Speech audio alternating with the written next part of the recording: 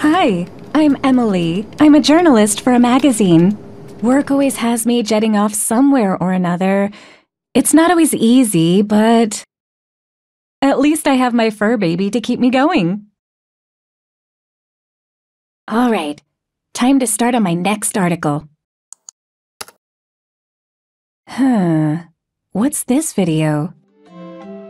Monster Hunter? Felines? These kitties are just too cute. I hope the place I'm going is as amazing as this. Maybe a little cat nap, then it's back to work.